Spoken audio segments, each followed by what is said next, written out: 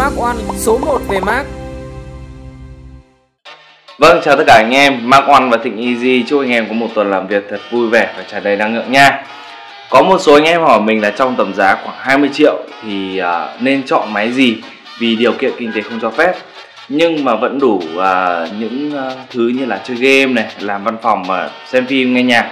Thì hôm nay mình sẽ chia sẻ cho anh một chiếc máy tầm giá là 20 triệu mà mình đã có cơ hội trải nghiệm. Vâng, chính là em nó MacBook Air 13 inch 2016 với mã là MMGF2 Vậy thì em nó có điều gì biệt để mà mình giới thiệu cho anh em?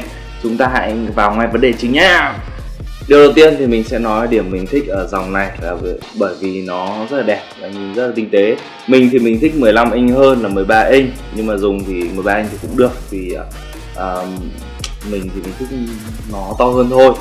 Điểm thứ hai mà mình thích là bàn phím và chiếc bát. Bàn phím của Apple thì thật ra nó không còn nói rồi Thì nó là xứng ở bàn cái rồi. Check bát to và dễ sử dụng. Nếu mà so với các dòng MacBook Pro cũ thì check bát nhỏ điểm mình không thích. Điểm thứ ba thích nữa là dòng Mac Air vẫn giữ nguyên các thiết kế.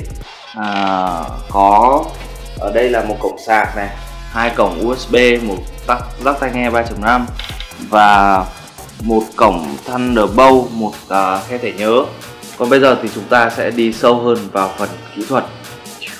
Ở đây thì chúng ta đang có là Intel Core 7 proswell 2.2 GHz, RAM 8GB, 1600 MHz, uh, 128GB SSD và sử dụng à, uh, HD Graphics 6000 có hai điểm mà mình không thích ở E là không có màn hình Retina như MacBook Pro. Tiếp theo là hiệu suất không cao như làm đồ họa render video hay là chơi game BOVG Max Setting chẳng hạn thì điều đó là phần tiền toán khó với dòng MacBook Air e. nếu mà muốn hardcore thì mình nên nghĩ là bạn sẽ dùng MacBook Pro thì sẽ tốt hơn. Dòng này thì mình nghĩ sẽ phù hợp với các anh em đang đi học, đi làm, dân văn phòng. Chỉ có mục đích mà sử dụng đơn thuần. Nhưng bù lại là MacBook Air e sẽ có giá thành rẻ hơn MacBook Pro rất là nhiều. Vậy là anh em sẽ chỉ cần bỏ ra khoảng 17 triệu 600 là đã có thể sở hữu em MacBook Air 13 inch 2016 với mã là MMG F2 tại Mac One rồi nhé. Link thì mình sẽ để ở dưới description để anh em tham khảo. À, Mình đã review xong cho anh em về MacBook Air 13 inch 2016 à, Vậy thì xin chào và hẹn à, anh em ở các clip tới.